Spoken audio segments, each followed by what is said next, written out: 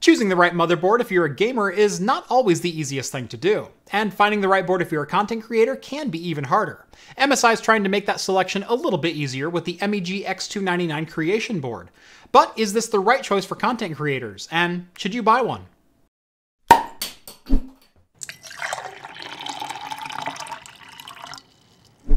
Welcome back to Craft Computing, everyone. As always, I'm Jeff, and if you hear some wind noises outside, we've got like 40 mile an hour wind gusts, and we're supposed to be getting about three inches of rain, like tonight. So bear with me, and hope my lights stay on.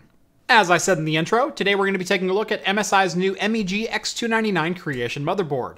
I put this board into a build a couple weeks ago as part of my Fractal Design Meshify S2 review, and if you want to see that build, the link will be, well, right up here. Let's start by going over the specs. This is a Socket 2066 motherboard and supports Intel 7th and 9th gen high-end desktop CPUs. There are 8 DIMM slots for quad-channel DDR4 memory, with support for up to 128GB of capacity and 4200 MHz speeds. There's also 4 full-length PCIe X16 slots, with 2 of them running at X16 and the other 2 running at X8, along with a single X1 slot near the bottom of the board.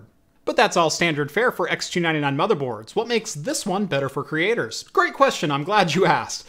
Well, we'll start with the easy answer, and that starts with this little expansion card right here. This is a two-port Thunderbolt 3 card included in the box.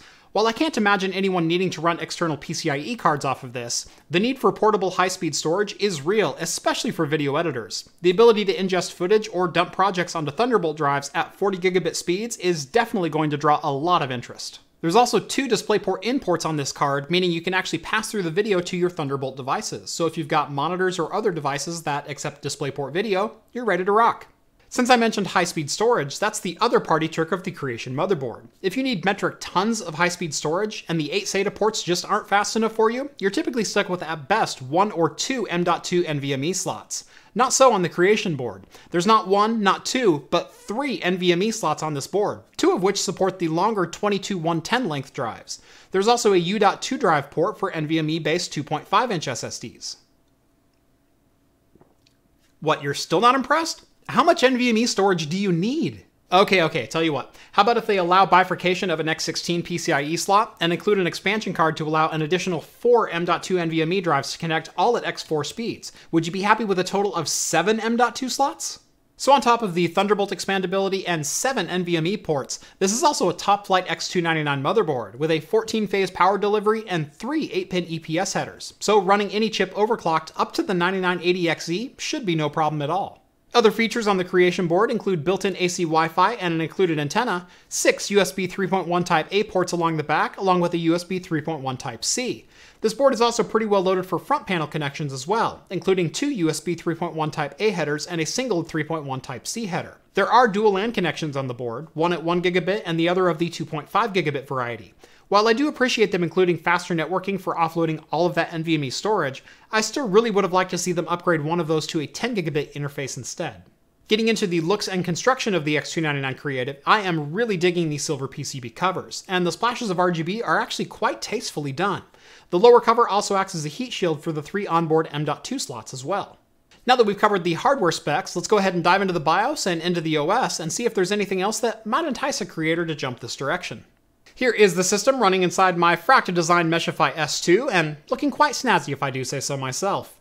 If you haven't seen the build, just to recap, it's running an i7-7820X 8-core CPU along with 32GB of Corsair LPX Vengeance 3200MHz memory. For graphics, I've got an EVGA GTX 1080 for the win card, and for storage, I've got a 480GB Kingston M.2 drive. SATA, unfortunately, it's not an NVMe drive. I didn't have any spare NVMe's when I built this, although I'll probably be swapping out for one in the very near future. But right now, that drive is in that build running Ubuntu, so we'll probably swap it out eventually.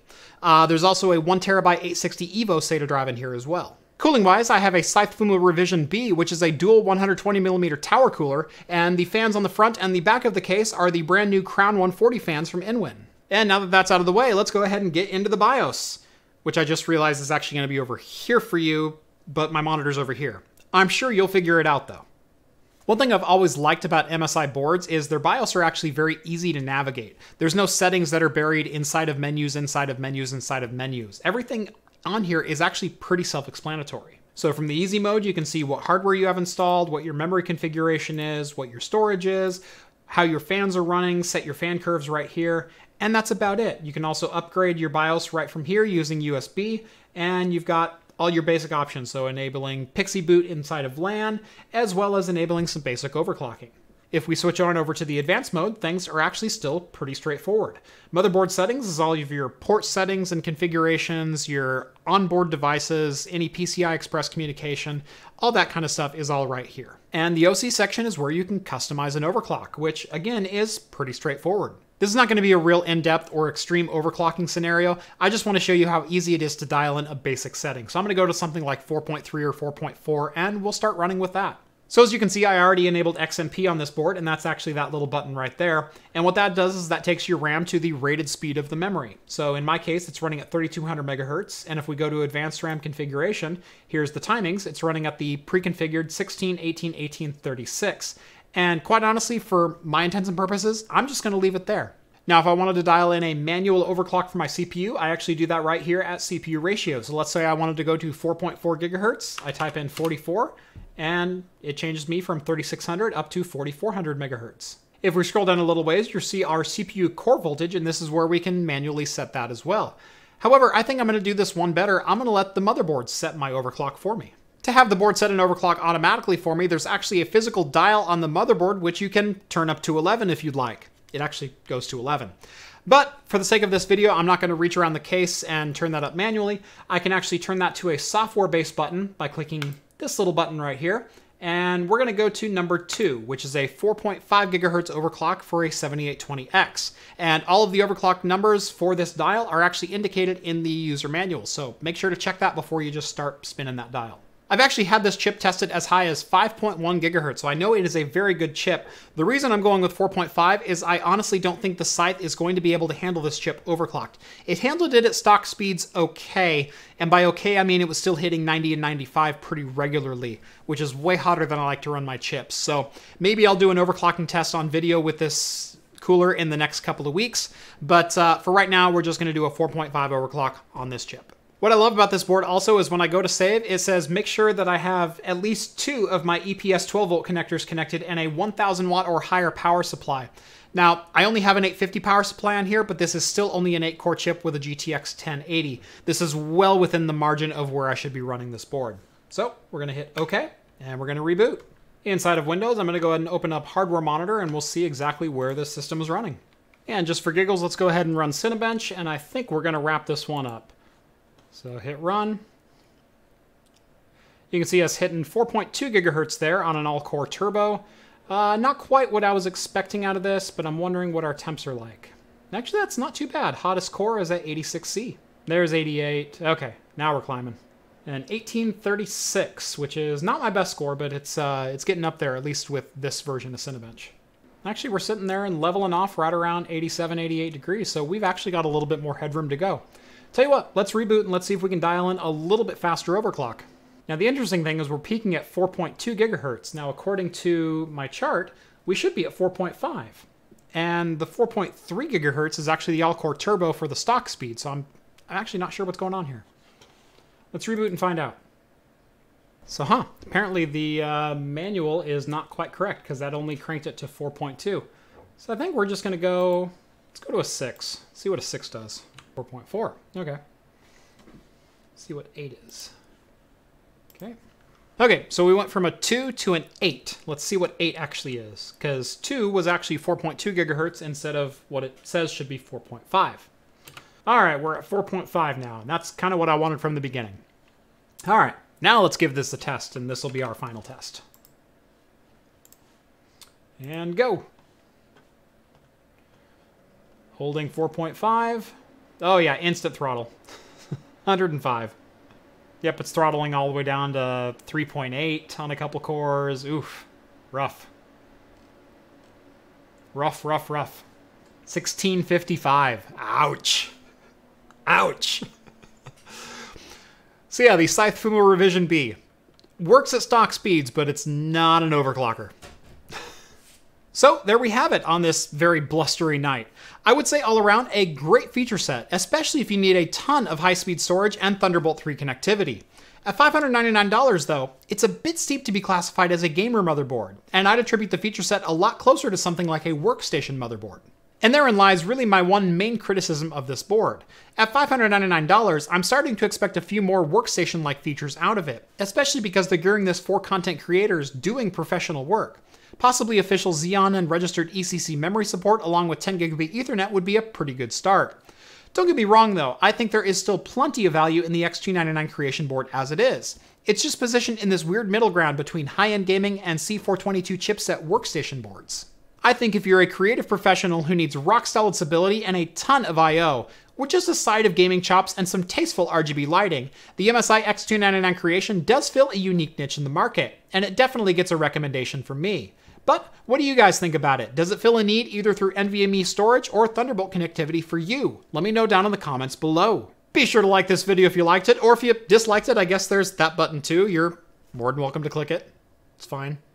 Subscribe to Craft Computing if you haven't done so already, and follow me on Twitter at Craft Computing to keep up with my daily shenanigans. If you're interested in financially backing the channel, make sure to look me up on Patreon, where a minimum donation of $1 a month gets you access to my exclusive Discord server. Chat with myself and the other hosts from Talking Heads, my once weekly live show every Wednesday at 8 p.m. Pacific for the latest in beer and tech news. If you're interested in picking up any of the hardware that I featured on today's show, make sure to follow the Amazon and now the Newegg affiliate links down in the video description below. It doesn't cost you a thing, and it really does help keep the lights on around here. As always, thank you guys so much for watching this one, and I will see you in... Wait, hold on. I can fix that.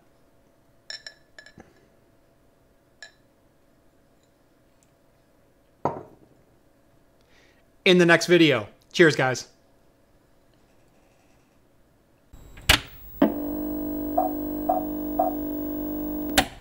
On today's show, we have a new brew from Ninkasi. I actually have never seen this one on store shelves before, so I'm not sure if this is a new release, uh, but it is a seasonal release. This is the Ninkasi from down in Eugene, Oregon, Heart and Science Seasonal Release IPA. It's a 6.8%, uh, I believe 48 IBU, if I remember correctly. Boy, a lot of citrus right up front. Almost like a mandarin orange kind of smell to it. Oh, that's good. A big flavorful IPA with tropical and citrus hop notes, dry hopped and juicy. Heart and Science is brewed as a tribute to the technical arts and heartfelt dedication that brewers, farmers, suppliers, and fans bring to the independent craft brew industry. Like I said, you get that mandarin orange right on your nose. Not getting much else in the in the nose though.